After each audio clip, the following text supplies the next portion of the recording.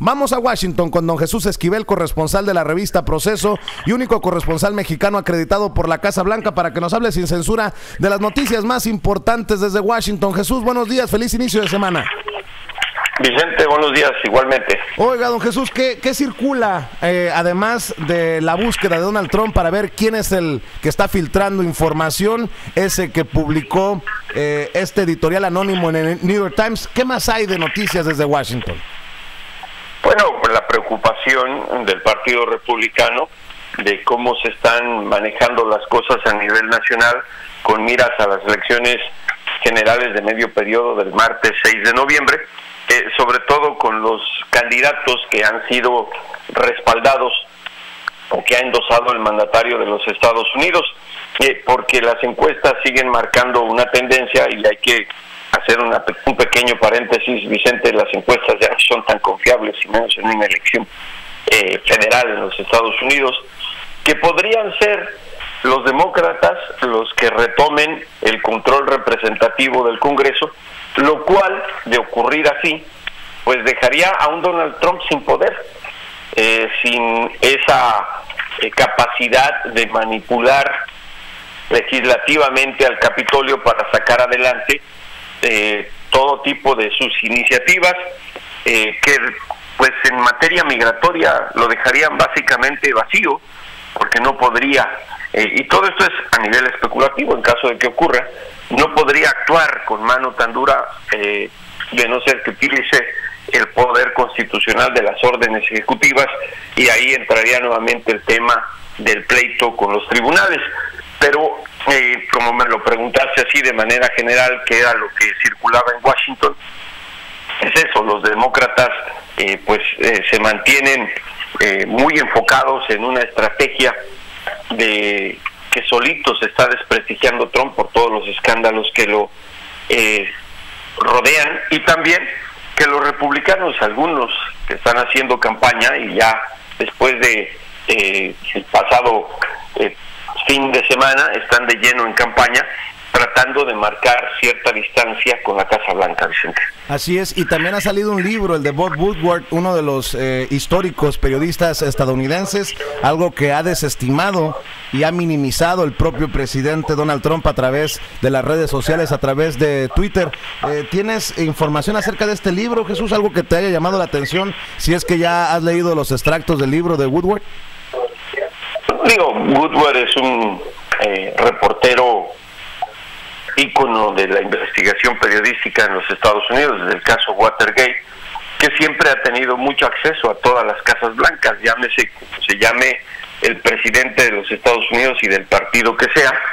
Eh, he leído solo los fragmentos que han salido, porque el libro empieza a circular mañana, Vicente, pero pues creo que él siempre ha sido alguien confiable, porque entrevista a las personas. Era lógico que este libro iba a provocar la polémica que ha desatado, eh, porque son declaraciones de gente que trabaja en la Casa Blanca, de que conocen el comportamiento eh, y pues la manera tan irascible de gobernar del presidente de los Estados Unidos. Y lo ha demostrado Trump desde que llegó a la Casa Blanca. Vicente no le gusta la menor crítica, se siente emperador y él considera que todo mundo está de acuerdo con él. Eh, la, las críticas que esto ha generado, eh, la preocupación, eh, creo que hemos visto bastante claro en estos últimos días cómo lo está tratando de minimizar la Casa Blanca. Primero con sus asesores diciendo, pues no importa lo que digan, son mentiras, el propio presidente dice que es ficción, pero además la economía está muy bien, como diciendo, no importa, el electorado estadounidense siempre va a votar con el bolsillo, lo cual es cierto, pero creo que se está llegando a un límite. Y hay una cosa que en lo particular me llama la atención. Hay un personaje, eh, como mencionaste también el tema del el artículo editorial en el New York Times, que está como rindiendo tanta declaración sin ser señalado de ser el responsable o autor de ese artículo anónimo el vicepresidente de los Estados Unidos, Mike Pence, quien incluso no tenía por qué hacerlo, ya le declaró a varios medios de comunicación que él estaría dispuesto a someterse a una prueba de mentiras, Vicente.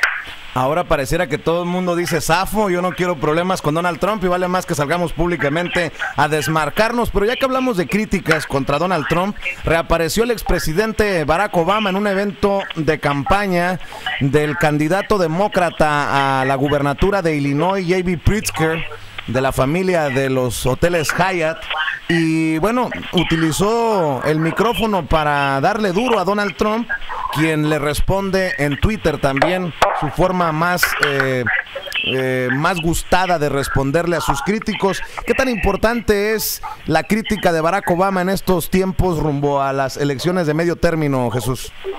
Muy importante, porque yo sé que tú opinas lo mismo que Trump de Barack Obama, pero es un político que por lo menos tiene credibilidad y que tiene el respeto de su partido, lo que no tiene Donald Trump en este momento. Hemos visto cómo Paul Ryan o Mitch McConnell, los líderes republicanos en el Congreso, han marcado cierta distancia por las acciones tan conservadoras y relevantes del presidente de los Estados Unidos. Obama sigue siendo un emblema del partido, lo mismo que Bill Clinton. Eh, en los eventos donde se presentan, eh, siempre eh, se percibe esa pues simpatía que hay entre los demócratas por este tipo de personajes, que creo que tendría que salir a escena, y lo hizo bien, justo en estos momentos de tanta polémica en Washington, y cuando todos los legisladores federales se encuentran en plena campaña porque después de el día de asueto del primer fin de semana de septiembre y lo sabes muy bien en año electoral todo tiene que ver con procesos electorales y los legisladores se mueven en sus distritos y los gobernadores que buscan un puesto, los aspirantes a reelegirse, eh, están en campaña y utilizan este tipo de figuras eh, precisamente que se consideran emblemáticas e importantes entre una sociedad que vota por el Partido Demócrata. Eh, Jesús, de los temas para cerrar, eh, Donald Trump hace dos días publicó a través de Twitter precisamente eh, sobre una iniciativa de ley sobre inmigración para hacer más rápida la deportación de criminal aliens, como les llama él, eh, extranjeros criminales. Dice, bajo las leyes actuales de inmigración, el gobierno ha sido frecuentemente bloqueado de deportar a extranjeros criminales que tengan convicciones o en su historial eh, cargos violentos de crímenes mayores los eh, representantes de la Cámara mm, los republicanos han aprobado una iniciativa que incrementaría la habilidad para deportar a estos extranjeros violentos, pero los locos demócratas se oponen. Necesitan hacerme llegar esta ley lo más rápido posible a mi escritorio. ¿Tienes idea de qué habla Donald Trump, Jesús? A ver, Vicente, me da un poco de risa porque eh, no tiene ni sentido el mensaje de Twitter de Trump. Eh, él parece que lo que quiere es pisotear los mecanismos legales y judiciales en los Estados Unidos y sobre todo los compromisos a nivel internacional que tiene Estados Unidos como nación e integrante eh, de las Naciones Unidas. Lo que busca el mandatario estadounidense es criminalizar a la inmigración indocumentada eh, no por asuntos criminales, sino de inmigración. Quiere que se establezca como delito grave que en algunos aspectos se tiene la reincidencia del cruce o ingreso a los Estados Unidos como indocumentado. Eh, esto para meterlos, digamos, en el mismo casillero que a indocumentados o extranjeros que han sido acusados de delitos graves. Eh, como puede ser asesinato, robo a mano armada, en fin, que esos sí son deportados a sus países de origen, y lo sabemos, y desde toda la vida. Eh, acelerar el proceso significa eh, asunto electoral, porque eso sí, se quejan demócratas y republicanos que por los procesos judiciales a los que está suscrito a nivel internacional Estados Unidos, porque todo criminal merece ser llevado ante la corte, le sale muy caro al erario estadounidense mantenerlos en prisiones tanto tiempo si saben que van a ser en algún momento enviados a su país de origen. Y lo que quiere hacer Trump es evitarse críticas por la retención de inmigrantes indocumentados en centros de detención sin ser criminales. Los quiere criminalizar para meterlos en el mismo casillero y que sean a las de una manera rauda enviados a sus naciones de origen. Eso es lo que busca Donald Trump. Dos cosas para cerrar, Jesús. ¿En qué quedó lo del acuerdo bilateral entre, bueno, trilateral, porque sigue siendo tratado de libre comercio, los acuerdos a los que no han podido llegar eh, los gobiernos de Canadá y Estados Unidos siguen negociando después de que se pusieran de acuerdo, todo parece indicar México y Estados Unidos. Sí, eh, las renegociaciones eh, justamente el día de hoy vuelven a tomar su curso. se habla de que esta semana México se integra a las negociaciones, lo cual es una señal de que se están librando los obstáculos entre Estados Unidos y Canadá para llegar a un compromiso.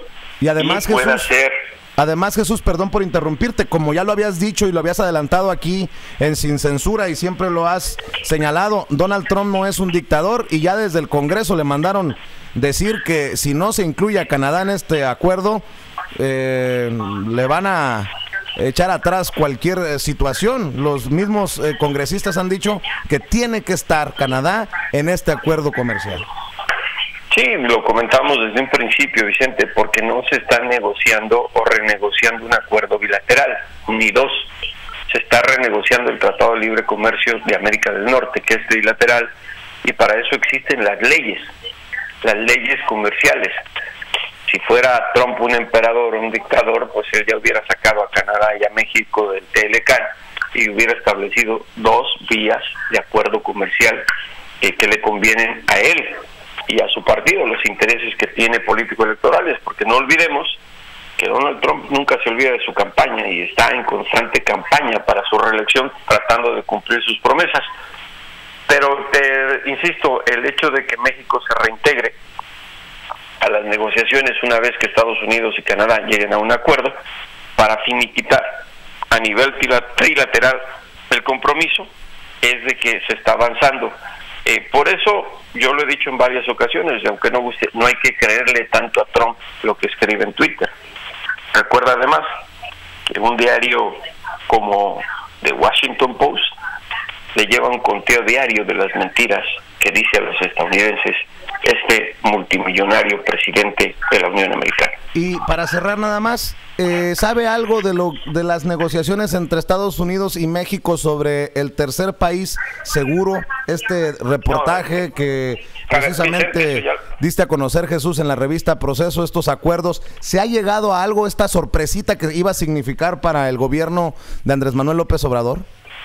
Eh, a ver, Vicente, eh, ahora sí que creo que no me leíste. Ya hace unas semanas eh, publiqué en proceso una entrevista muy amplia con Jerónimo Gutiérrez, el embajador. Ahí me quedé. ahí me quedé bueno, pues, precisamente. Pues, es que ahí se, ahí se queda claro de que Jerónimo tuvo que aceptar que no dijeron la verdad y que ya no se está negociando. Ya no se está negociando. Ah, muy bien. Muy bien. Oye, Jesús, pues te mando un abrazo, que pases excelente día y nos vemos, nos escuchamos cuando lo merite la noticia, si no nos vemos y nos escuchamos el lunes. Claro que sí, Vicente, un abrazo, buenos días. Gracias, Jesús Esquivel, corresponsal de la revista Proceso, único corresponsal mexicano acreditado por la Casa Blanca, hablando con nosotros sin censura como todos los lunes, o como ya lo escuchaba cuando lo merita.